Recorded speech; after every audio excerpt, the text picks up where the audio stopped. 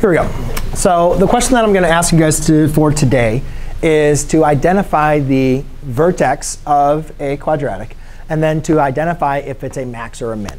So to do this, there's a couple things we need to know. First of all, we need to know what the parent graph looks like. And coming from Algebra 2, as well as from Unit 1, this should not be a question.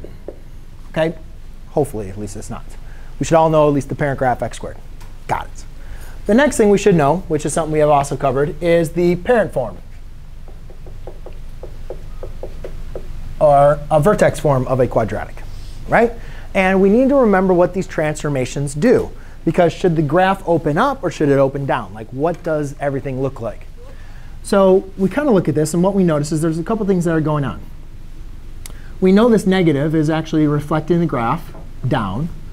We know this 1 half is actually a vertical compression right?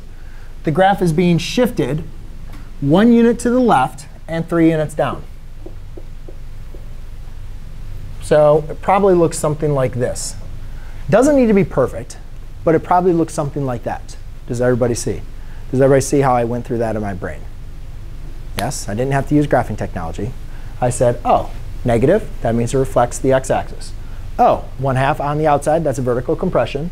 Oh, that's my h, so it's opposite. So it's negative to the left one. And that's my k, that's down 3. So therefore, my vertex is negative 1 comma 3, negative 3. And you guys can see that's an absolute max, right? So I'm just going to write an absolute max. OK? Now, if you do not believe me,